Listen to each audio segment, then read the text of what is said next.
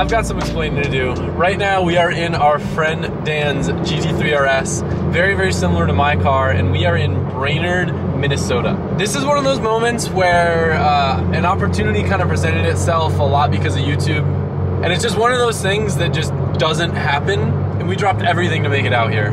Dan is good friends with one of the owners at 311 RS, and I'm familiar with them because of the special edition Evos that they built, the white and blue Evo 10 like Navo had way back. But I didn't know that they have a Porsche race team. But this year, they're racing in the Carrera Cup, the first time ever in the US. There's a Porsche only Cup car series, and they have two 992 Cup cars.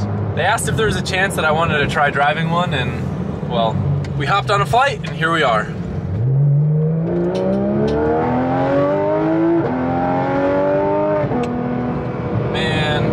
Car makes me miss my car not being super loud. Me and Clyde have been able to have like a conversation. I know it's weird. It's weird. Talk about our feelings. Dan's car is sick. It's actually like a, the the spec. If I reordered my car, I was very very on the fence about just doing all black because it looks so subtle with a carbon roof and the carbon hood on black. You can like barely notice that it's a Weissach package.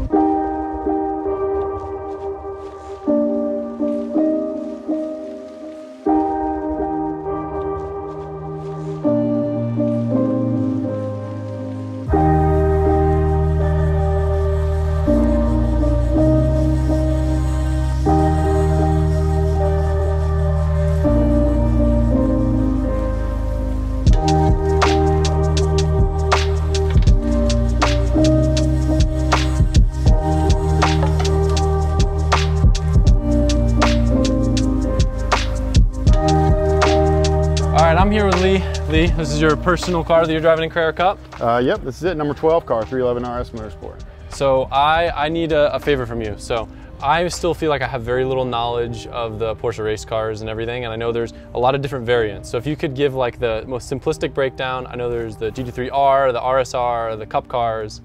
What's the difference? Yeah, well, Porsche's been building race cars for a really long time. They have a race car customer program. They build the nicest race cars, club racers, professional racers, all the way to the RSR at Le Mans, which is like over the car itself, well over a million bucks. This is a Cup car. Cup car started in Carrera Cup in 1990. Um, it's evolved, it was air cooled then, and uh, evolved into this. This is kind of based off the street car. The street car is not even out yet. Turbo chassis, which is a little bit wider. Uh, front end track is wider uh, than the GT3 street car that we're gonna see. Big front tires, 305s. And uh, as you see, downforce and lots of other things. But what's cool is there's streetcar stuff. So like, you know, I think you'll see these are plastic bumpers. It's not crazy carbon uh, like the GT3R and the RSR. You know, this is a factory tail light. This is a tail light that's in the 992s, like all 992 you see driving down the road. This is Cup Car. Um, this rear bumper is GT3 basically, so road car stuff. So it's a mixture of race car and road car. You know, this rear bumper is just being plastic versus like a 3R bumper or an RSR rear bumper would be like eight, eight or ten thousand dollars just probably the bumper itself. So wow. this street car plastic is cheaper. The main thing is the difference between the street car and race car is the factory safety devices for racing. This car has a really nice roll cage. Porsche always does that really well. Strengthened in a lot of different areas, fire system, the seat, the seat mounts, all that. This comes, this is stock. This car is completely bone stock, straight from the Porsche factory in Germany. So uh, safety is super critical and important. Obviously, they went water cooled, and then they went to sequential transmission with the 997, and then paddles with the 991. This is paddles. That's where the modern day is now for race cars but double A arm front suspension on this versus the MacPherson struts on the older 991s and everything before. They were always pretty fast. Now this car is kind of getting to GT3R territory like 997 GT3R and kind of at the heels of 991 GT3Rs that are racing pro right now. I mean, we're like, some racetracks were like a second, second half off. what those guys run. So So I just learned today that the RSR isn't even rear engine. I never knew that. no, So no. it's that's like a prototype with mid-engine. That's like all the cheats all in one that they can do to make those cars fast, huh? yeah, it's built for the rules. So an RSR is basically built for 24 hours Le Mans, and Uh-huh. then like WeatherTech IMSA Championship has GT Le Mans. Those cars run in the states and in other places in the world. But essentially, that's really a Le Mans 24 car. That's the biggest race for those cars each year. And it's mid-engine. The transmission's flopped. The transmission's right here in between the axles. And it's, yeah, like you said, it's basically a prototype. It's in, insane.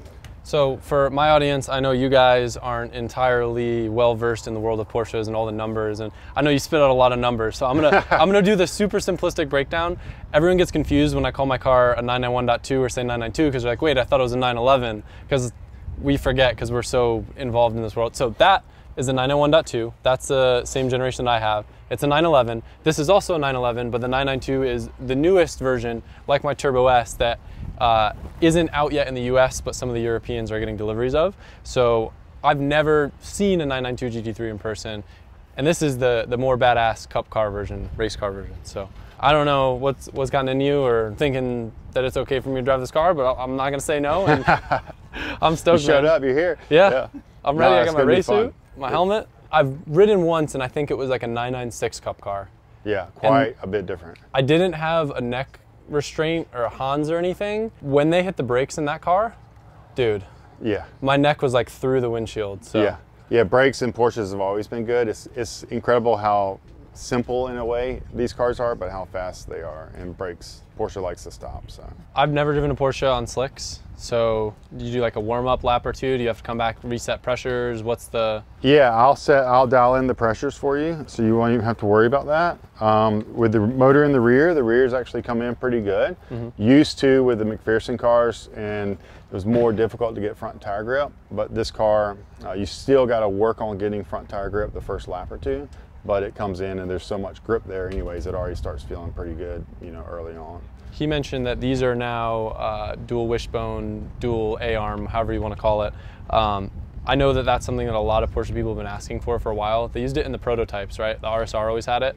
It, it was first in the RSR, Okay. and then it was in the GT3R 991.2 gen, and now we see it in the Cup and on the street car. So And that's what everyone keeps raving about, about that new 992 GT3. so even though it's going to be a little bit, uh, maybe not comparable to the street car driving this, it will in one sense, but um, I'm excited to hopefully feel somewhat of a difference. But having never driven any sort of Porsche race car, I'm sure it's going to be a, a bit of a, a leap from what I'm used to. you're gonna have a lot of fun.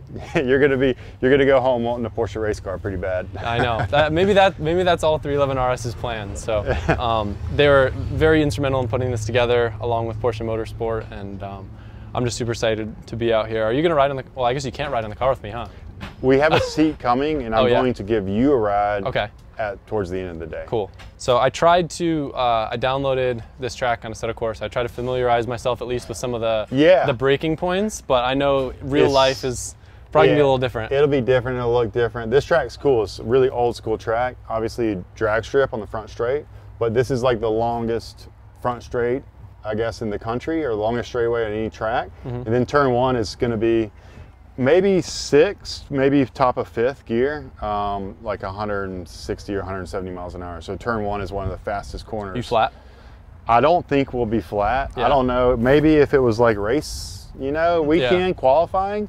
But um, I've driven it. I've driven the track in a 991, and I had to lift a little bit 991 Cup. So it's really fast. Do you know what you run on this track? Just out of curiosity. I don't know yet. I'm guessing towards down towards the low 30s, but I don't. I don't know yet. I was just curious. So itinerary for today, you're gonna shake down the car. I think I'll probably take some sight laps in Dan's street car, get familiar with the car a little bit, and then I think I hop in this. Yep. Cool. That's the plan. So you warm up. It's a nice warm up. Oh, and then that thing just rolled up. Yeah. Is oh, that yeah. the Club Sport? That's the GT4 Club Sport. Yeah. All right, we'll talk more about that later. I know you got to get out there. Yeah, yeah, Go warm this thing up. Uh, I'm so excited. Leh's giving us a sight lap in the Panamera. This is a GTS. Uh, yes. I don't know what that means, but it sounds fancy.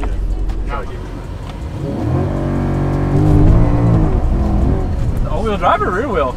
It's like it was rear wheel, and then it wanted to do all wheel, and then I I was was gonna say, like, it had quite a bit of then I- bite. I, kind of felt bad, bad for it, so I was like, yeah, I get away from. Tomorrow. now. This this feels identical to what it felt like on the sim. Like looking down yeah, this, visually. that's cool. This, yeah. So this is really long straight into a crazy fast corner. It sounded like you're almost flat. I did it flat, but I wouldn't suggest doing that. What, what's what's like the breakaway point? You start to feel it in the rear or the front? Um, it actually was pretty solid, except there's a bump right through here. Like right here? So yeah, you can you can see it right here.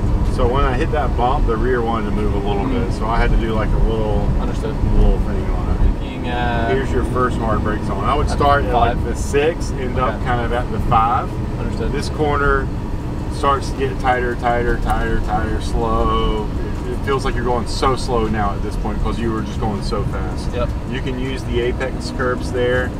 I would, you know, you can use this, but then you don't want to. You don't want to end up straddling. If you Yeah. straddle that part, it will. It could drag the engine on the ground because uh, it's so low. And then you can use the curbs. Do you walk it out here? Or do you sacrifice a little bit of the exit there to make sure you can get over. And so this corner is really pinches you. It's tighter than it seems, and then it opens up on the on the exit. Dan's kind enough to let me take his car out to get acclimated to track before I take out the race car. Uh, Fancy harnesses. So Leh's gonna be driving that Panamera in front of us, and we're just gonna do a little lead follow so we can get acclimated to the track. The AC cranking.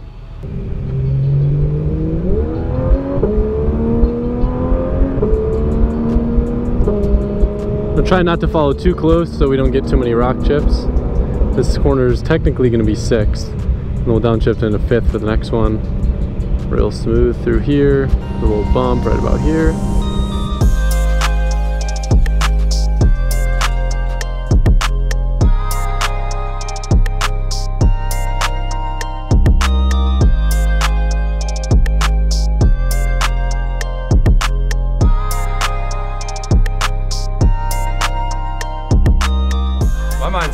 Realize there's a clutch. Yeah, yeah, yeah. It's paddles. It's um, straight cut gears and all that stuff. I mean the the box is very similar to uh, the actual manual box, but it's pneumatically shift or you know with hydraulically shift um, with the electric actuator. So it's not like PDK at all or anything like that.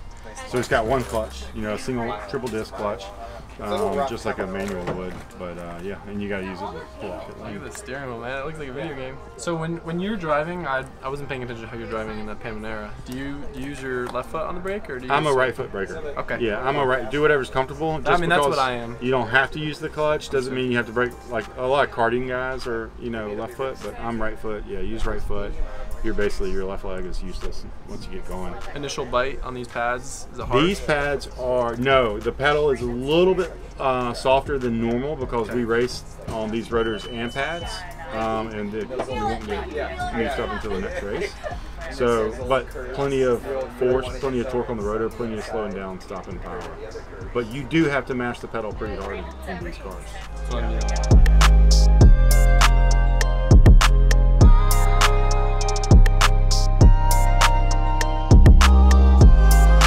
All right, guys. This is a uh, a once in a lifetime opportunity. I I'm I'm stoked. I'm gonna try to get acclimated and just uh, do a couple laps with it, and then I'll bring it back. We'll set up some more cameras. I know the GoPro's probably gonna be a little bit weird for you guys in here, but I forgot that this thing had a halo. Um, let's go have some fun, guys.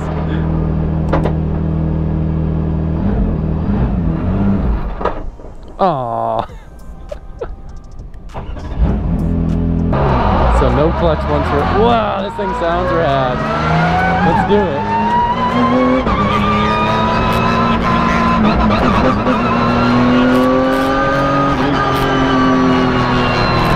GoPro's gonna be a little annoying hitting the side of the seat, but we'll do our best.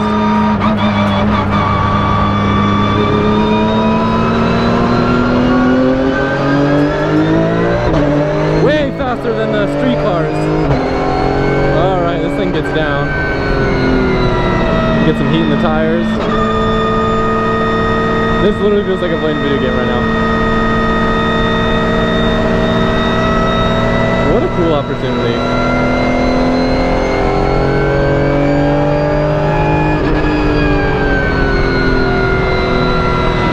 Tires up.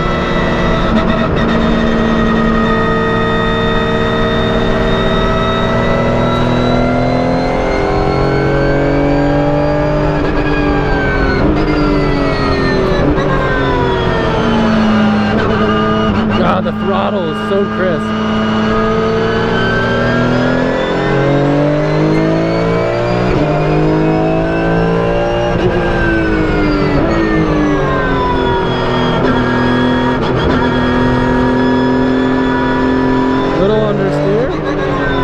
probably pushed a little bit too much with the tires being cold.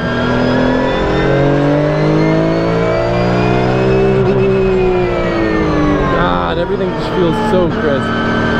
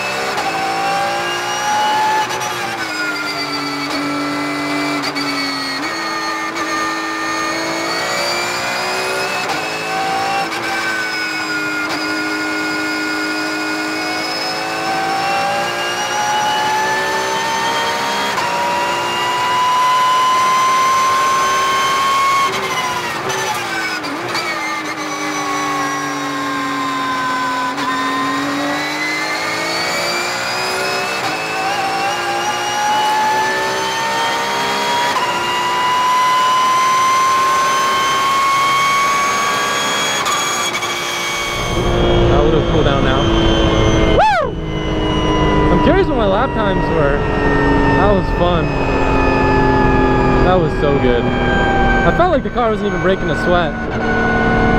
I'm breaking a sweat though. so I'm in the car struggling with uh, the helmet camera on the side of my helmet, like in the Hans, like doing this. Probably cost me like 10 seconds if we're being honest on my laptop. but we found out that they have really cool in-car cameras that uh, are running all the time and have a bunch of like data on them. Uh, and they're gonna give us that footage. So I'm gonna go back out for another session. Um, I feel a little bit more comfortable with the car. I kind of understand the track a little bit more.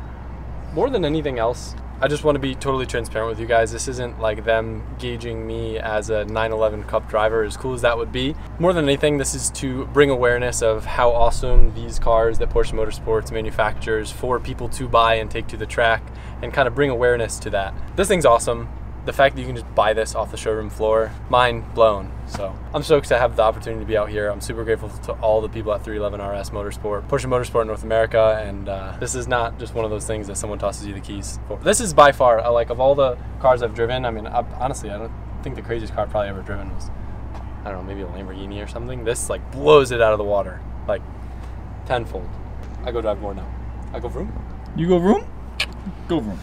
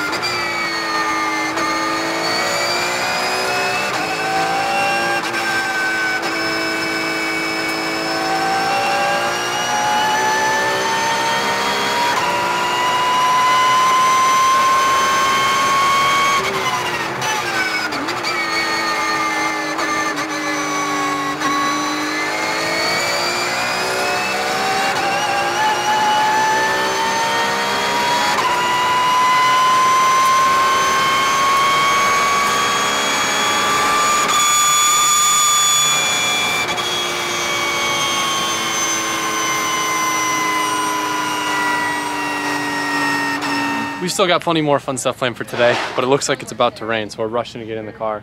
Leh's gonna give me a ride at full tilt on this thing. I know he's probably gonna put 10 plus seconds on my laps that I did, so uh, we'll have the in-car footage from the cameras that are already in the car, but I'm excited to uh, get to feel what the full potential of this car is.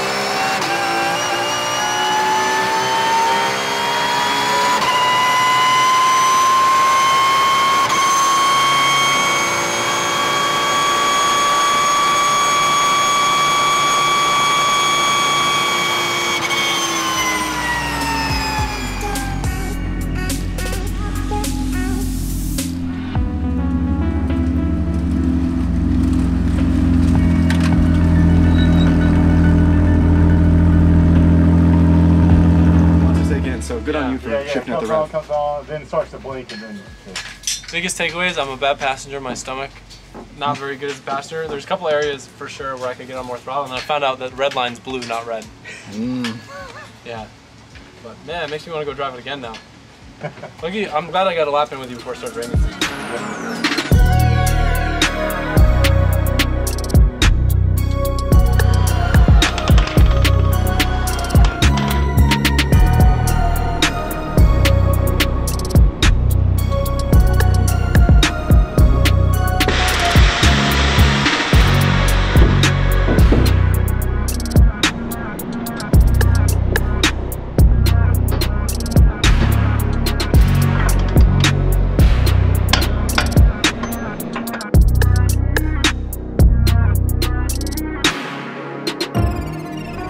Here, we actually got the opportunity to drive another crazy car. This one in particular is a GT4 Club Sport. So you can actually purchase these cars direct from Porsche, whether you're a weekend racer or you want to race in a series or whatever. Again, factory race car. You got slicks, page interior, comes all like this from Porsche. Uh, this one's actually owned by uh, Brainerd International Speedway, and they're a Porsche Motorsport dealer. So uh, they're kind enough to let me take it for a few laps. I've never driven a GT4. I've heard loads of good stuff about them. I've been scared to drive one because I know that I'll like it. But mid-engine versus rear engine, uh, again, obviously slicks, set up as a race car. Club Sport's more reminiscent of the street car than the Cup car is. I think this one even has like a factory style transmission and like sort of factory stuff inside. Uh, but I'm excited to go do a couple laps and see what I think. All right guys, so first uh, GT4 experience and it is a Club Sport. I actually didn't mention as well, this is an MR edition. So it's uh, tuned by, I believe it's called Manthey Racing, and it's got some special little bits. I think mostly carbon stuff that make this thing even faster than it already is. Be a little bit uncomfortable for the first couple laps while I talk to you guys because I have the uh, GoPro pressed up against the halo of the seat, but let's see what this thing feels like.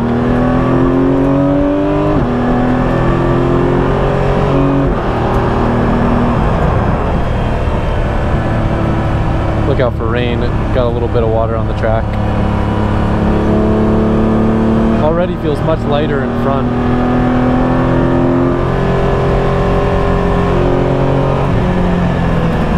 Interesting sound.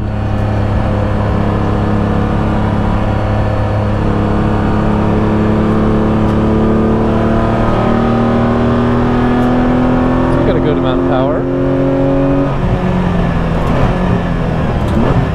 Brake pedal's got to play in a little bit more than before. Very good turn in. Super linear power band.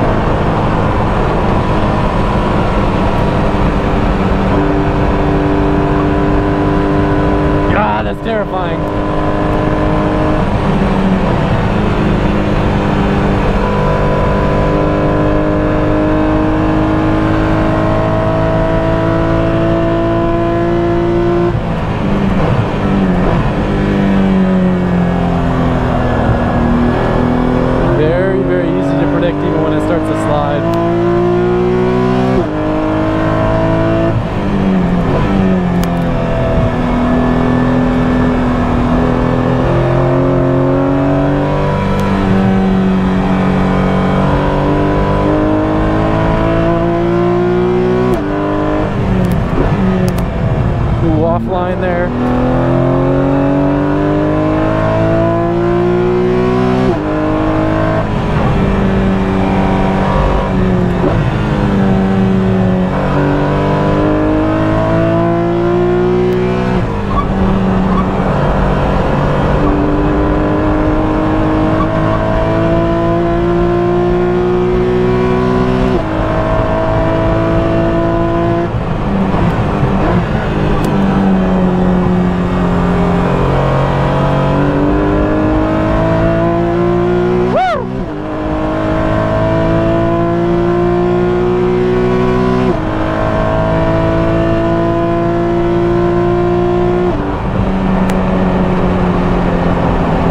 That was a good time.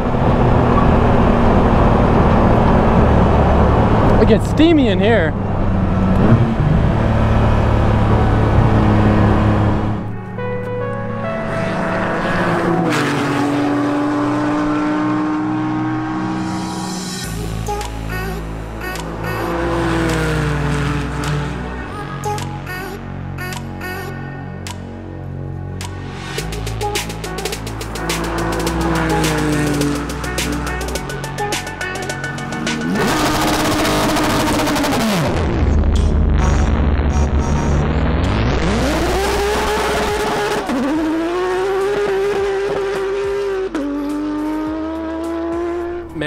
What a what a crazy day when Dan hit me up on Instagram and told me about this whole opportunity.